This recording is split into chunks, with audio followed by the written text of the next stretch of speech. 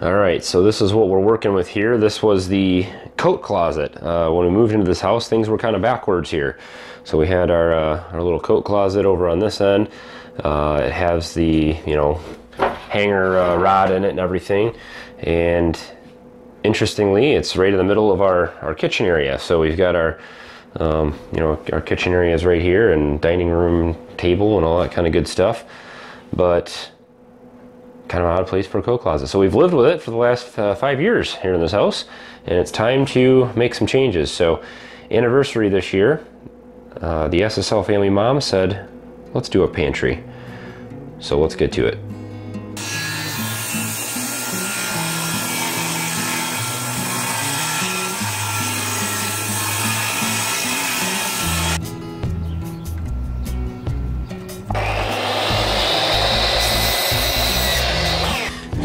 All right, so I've got all my strips uh, cut out here, uh, ready for my supports for the shelves. Um, and uh, just the way this house was designed and where this closet is that I'm turning into a pantry, it's kind of in the center of the home. Um, it also kind of supports the stairs above us and below us, and it's kind of like the support structure for the center of the home. So um, there's probably a lot of utilities and uh, studs, uh, you know, doubles and triples and things like that behind the wall here. Uh, my stud finder is just straight up not working in here. I don't know why. I don't know if this wall is furred out or who knows what's behind it. So there's a couple ways you can use to find studs if you do not have a stud finder or your stud finder is not working properly um, in certain situations. So um, tried and true method is uh, just to grab an old nail. Now since this is going to be covered by my strip, I can poke some holes back here and uh, test out some theories. Now what I generally do is knock on the wall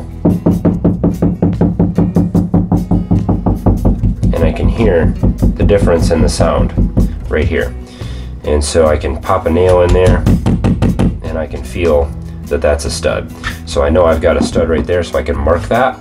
Um, I found I was using my stud finder and I found a few other spots where the stud finder picked up a stud and uh, tested that out with the nail and there's nothing there. Um, the measurements aren't 16 inch on center here and so I'm not sure what's going on behind the wall but uh, that's one way you can test and be sure before you start screwing things together and, and end up missing studs.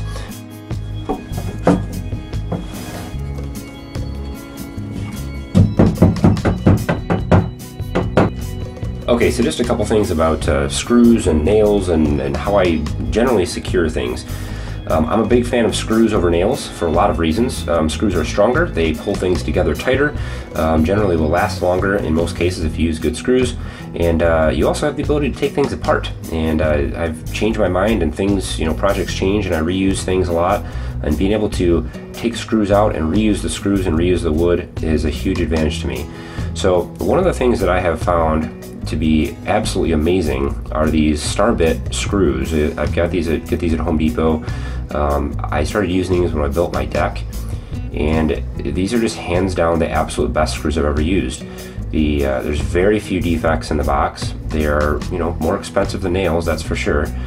Um, the Starbits never slip. Uh, I can reuse these screws a, million times, and they don't strip out even if I come at an angle and, and you know even if the bit doesn't doesn't seat properly and I, I kind of strip it a little bit, it's still I can still get the screws in and out. They work very very well, and so I highly recommend these screws. Um, another thing that has just changed my my world as far as construction goes is uh, a nice drill. I found this DeWalt kit and I'll put a link in, to this kit in the description or these two products but this is just their 20 volt drill. The only cordless drill that I found at any of the big box stores or online in any easy way anyway that is at least assembled in America um, the rest of the stuff that I've found is all made in China completely. Now most of these components are probably made in China or Japan but it is they do have a factory here where they assemble and test these and they do repairs in the United States as well as far as I know um, I also got this impact driver, which has been a huge help in uh, putting things together, man. This thing just sinks screws in uh, in seconds uh, very easily. And they both take the same battery pack, both are assembled in the United States. Um, and again, I'm using these uh, these star bits. And each box of those screws comes with these star bits. So I have a bunch of these laying around now. Um, and they, they last forever too. So very happy with those.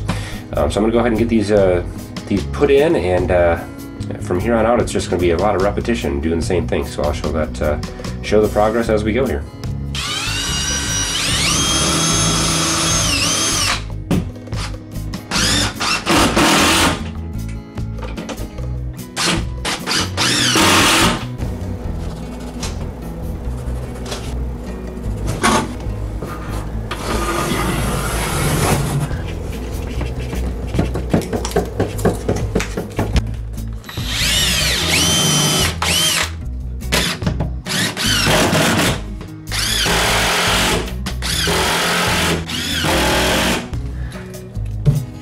So if you're not familiar with why an impact driver is so much better than just a regular old screw gun or drill, um, the impact driver actually uses kind of like a hammering motion as well as the, the twisting motion to put the screw in.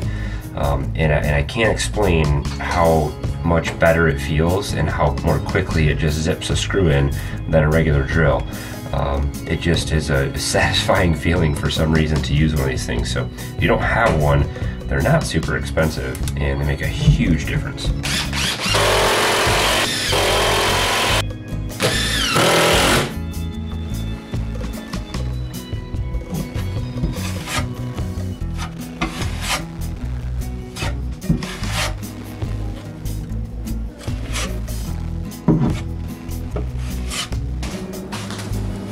Okay, so I chose particle board for this project. Yeah, particle board. I know. Never, never liked using this uh, this kind of wood, or if you can call it wood. It's basically glued together sawdust, right? So, uh, but I did a few tests at uh, at the lumber yard or the big box store, and uh, this seems to be the strongest uh, it, without, I wouldn't say strongest, but it doesn't bow as much over a long distance. And so uh, I talked with a few guys there and they seem to agree. Uh, it was a little bit better than MDF. Uh, the only issue is the edge here is not so pretty, but I'm gonna try to, to fix that up. I'm gonna be painting over this and paint uh, does very well on this type of wood. So I think this will work out very well. I'm using three quarter inch here. Um, I want this to be able to hold up to anything and so hopefully this will, uh, will do well for the pantry shelves.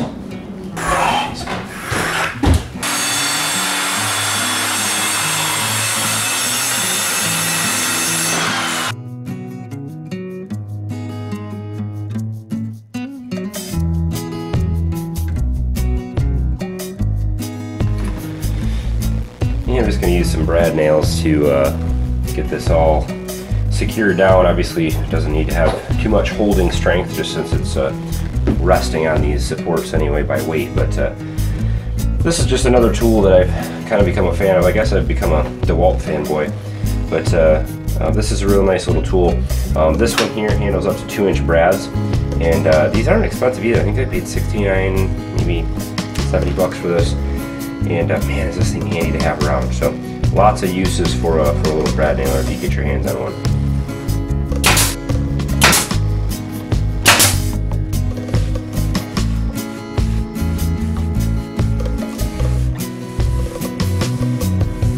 So this is easily my least favorite part of doing all these projects. I love building things. I love to put things together and see it all come together. Um, comes to the comes to the final details, I uh, prefer to skip that part, but uh, it's just not as exciting to me. That's why there's four or five projects around here that need to be finished still, probably. Well, there we go. I think it looks uh, pretty decent. Looks like might need to add a second coat of paint in some places, but uh, hey, this will work perfectly for a little pantry. I've got some more things to come down the road. I will be doing some canned goods uh, storage, some kind of specialized little, little uh, canned uh, goods storage um, drawers and shelving and uh, um, potatoes and onions uh, storage and all that kind of good stuff. I'm going to be compartmentalizing things here, but uh, for now, this will work. We'll see how the SSL family mom likes it.